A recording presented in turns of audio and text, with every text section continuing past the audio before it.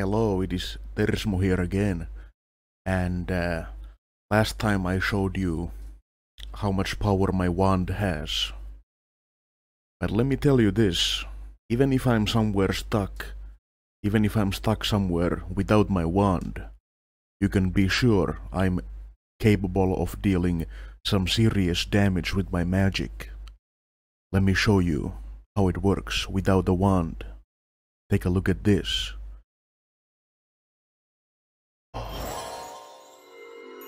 At that. Oh. Yeah, wow, look at that. That is some serious firepower. Uh, but that's not everything I have in my arsenal. Look at this. This is 2 out of 3. 2 out of 3.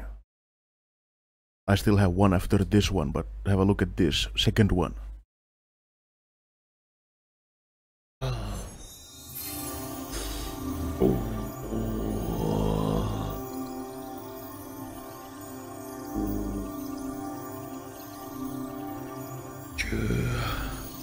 Yeah, there we go.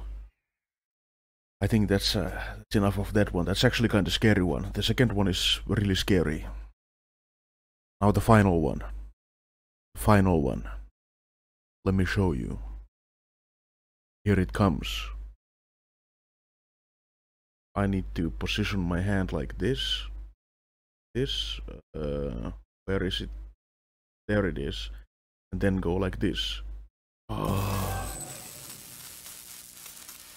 Look at that. Oh, shit, that's kinda close to my face. That's kinda close to my face. That's kinda scary.